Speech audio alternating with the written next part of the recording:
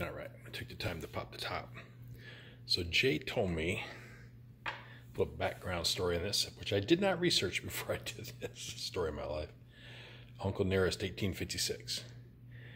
At some level, this preceded Jack Daniels.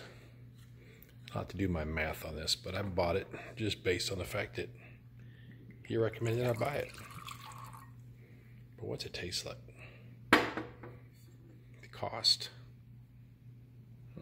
That's not cheap. Let's give a little taste test here.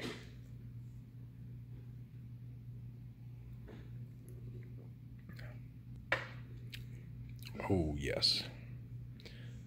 Real rich whiskey there. Nice little flavor.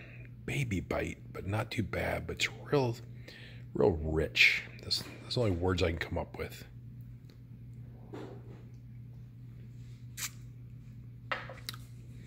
So Uncle Nearest, 1856. Would I buy it again? Yes, I would. Just trying to put my finger on that flavor profile.